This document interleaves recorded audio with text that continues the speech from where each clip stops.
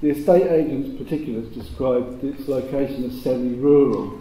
And it's kind of struck me that over the years, most of the places I've lived in have been semi-rural. Um,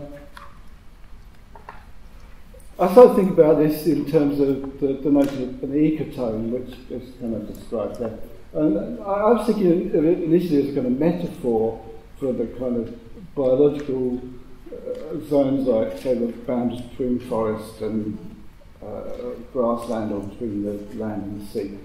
But then I realised, of course, the urban-rural boundary is an ecotone, and that's why I put the picture of the fox up, because for other species, it genuinely is this kind of boundary between two quite distinct habitats. Um, the two places I'm going to talk about, uh, uh, Swansea, um, Hendy, where I live now, and in London, High Barnet, where I grew up. I'll start with High Barnet. This is the house where I was born. I was actually born in that room there. Um, the house is there, as you can see, there's quite a large area of green space just at the back of where I live. Uh, that's the entrance to the park. That's in the park. There's a brook. The Dollis Brook runs along the bottom there. On the right hand side, it goes right off out into open countryside. On the left hand side, it goes on into London. And for those who know London, it ends up at Brent Cross and eventually feeds into the Thames. And over the back there, which will become relevant later, where those trees are, is a golf course. Oops, jump one. Uh, when I was 10, we moved to this house, going up Market. Um, again, plenty of green spaces, and that green line at the top marks the edge of London. Now, these two slides, uh, up here, and just there, that's where London stops. Literally. I mean, it literally stops. And um, you go up there and just turn left, that's what you get. Um, it's essentially completely unimproved pasture. This is uh, actually what, what was Heritage did uh, landscape characterisation of Greater London a few years back. And, and I think what's striking about this is that all these light green areas areas that were filled in between the two world wars. High Barnet, just there, all this light green stuff. Um, and I just think this graph is astounding. This is new housing. And that massive peak in the interwar period, which is marked by that light green area, was when, you know, this essentially a huge rural area just got completely boot over. Now, how does that look like? So this is Barnet in the first edition OS in about 1868.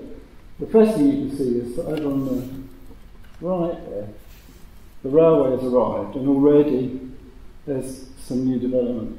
The core, is essentially a, a, a medieval small town with a market.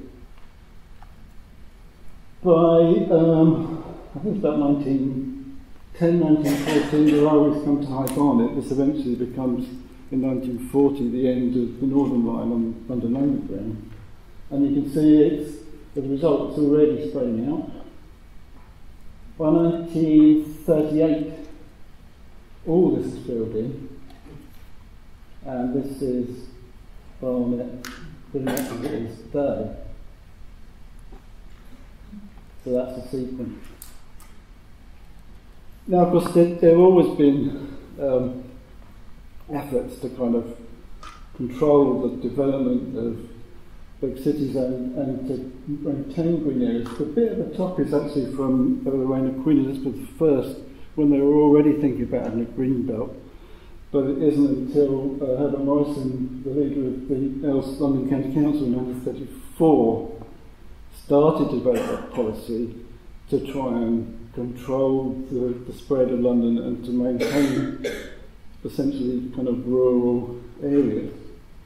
Um, presumably because of a response to that huge growth in housing that was going on in that period. It gets into the Abercrombie plan in 1944, but it essentially goes into legislation in the 47 Act, although the unfolding of London's green belt uh, is much longer than that. So this is what the green belt looks like now, and as you can see, I mean, there's a massive uh, a number of areas that have been designated as protected from development. Um, in the Barnet area, as you can see, I mean, High Barnet is essentially surrounded by this green belt. So, I mean, in terms of kind of semi-rurality, it very much is this sort of uh, a very urban area, but surrounded by one which is has become fixed in time as kind of semi-rural. Okay, I'll move on to where I live now. So that's our house. That's where it's located in the village. Um, it was originally built as a manse to a chapel in about 1860. That's what it looked like on the first edition OS. There's really nothing there. But just um, above there is oops, this. until recently, I didn't quite realise just how important this was. The St David's Colliery was a huge colliery. It was probably the biggest colliery in the Llanelli area. Um, served by these two inclines. That's what it looks like now. Somewhere under all that greenery, there is apparently some sort of pierhead building. Um, and in its day, it was the, the deepest pit in Wales.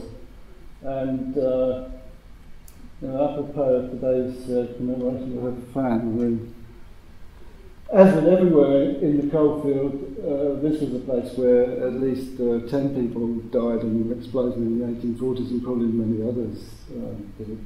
Um, but I know what's striking about this, and I'll come back to this later, is that apart from these two um, inclines, this is one of them, that one, which is the only one of the two in the there's basically no evidence of this industrial site of existence. That's, I've lived there for 20 years and never quite realised just how important it was. And that was the first kind of overall point I wanted to make. I mean, where does the industrial sit in the relationship between the urban and the rural? Um, this is one of my favourite places, the uh, Melincourt Valley in the Vale of which looks like a really nice kind of purely kind of rural environment. I expect Martin, you noticed, don't? But um, these are what I call fingertips, which are not tips of fingers, but uh, they're actually the tips from some little um, drift mines that would have been there, but now completely reabsorbed into the rural landscape. So you get this kind of um, fluctuation, I suppose, between the urban. Well, if, uh, if industrial is urban, then you get this kind of fluctuation. I mean, I suppose the point is that extractive industries tend to exist in the kind of rural locations. Um, just moving on to another location that kind of emphasises this. The coal from that pit ended up in the stock here, and a lot of it probably went into the tin plate work. Uh, the first one in this area, which is to the south left of, and may well have once been an island. First one was built in 1870, and then there was another one in the early 20th century. What's interesting about this area, though, unlike Pit to Pit, is that there were two settlements associated with this, Machynys and uh. I think that one, the top one's Gwent, bottom one is Machynys. Small settlements which were still inhabited until the 1960s. Um, that's what it looked like now. Yet another golf course, which we can come back to. Um, although um, there is this new settlement just on the end there, that's the golf course, that's where Bolter Brink is in, rather nicely called Pentre Nicklaus, named after that famous Welshman, Jack Nicklaus. But as I say, I mean, uh, you know, another site where, but this time one which is definitely generally urban, goes back to rural, or at least the golf course version is rural. Um, what happened with those tin plate works is that they were replaced by this in the late 1940s. A lot of new plant was built around Wales, Trostre and places like um, um, oh, my brain's gone blank on that. But there's about four major new plots. So those older plants, a lot of the people actually moved from those settlements that were demolished in the early 60s to these new plots. So our village, back to our village, about 1948, 49, new housing starts to get built to serve the new plant. By the early 50s, the house been there somewhere. Uh, this is what it's like today. Uh, there is a little bit just in here, which is a development since the 1990s. Uh, this is an extract from the local plan, so this is sort of recent. I think what's interesting in comparison and contrast with London is that all of this area, apart from this bit around St David's Pit, although not specifically des- designated for development, is perfectly open to be built on.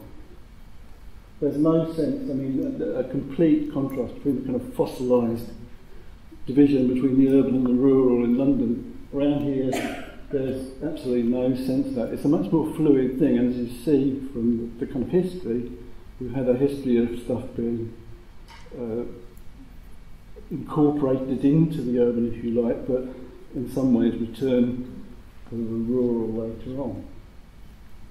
Oh, this is me delivering these flips during Brexit. I got lost in that new housing estate and I just sort of it quickly. I had to use the GPS on my phone to find the way out.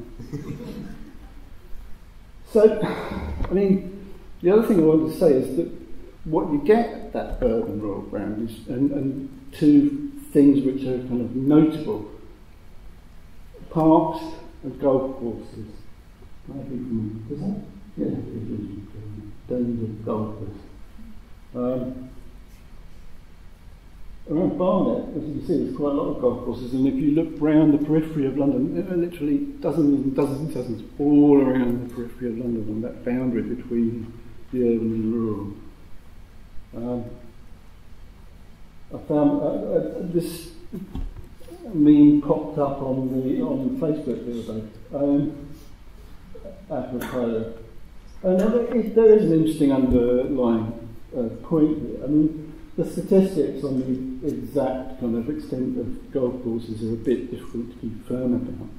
But this person is probably roughly right in the sense that there are something like 250,000 hectares occupied by golf courses, uh, which is, you know, something like a quarter of the area that's occupied by urban development. So, at least in the periphery of urban areas, you've got this massive kind of semi rural entity which is golf. Um, the final point, of course, is that at least for London and in the light of issues around kind of housing shortages and so on, there is now pressure to kind of break that fossilised boundary. And I, I would emphasise, you know, well, I was showing you earlier on, you've got these streets of 1930s houses that just stop, and that literally is where the development of London stopped, and it stayed that way since effectively the outbreak of the Second World War. Nothing has changed. And now there are people arguing, as this report does, that perhaps that will change, and that the kind of semi-rural idyll I knew as a child may cease to be. Thank you.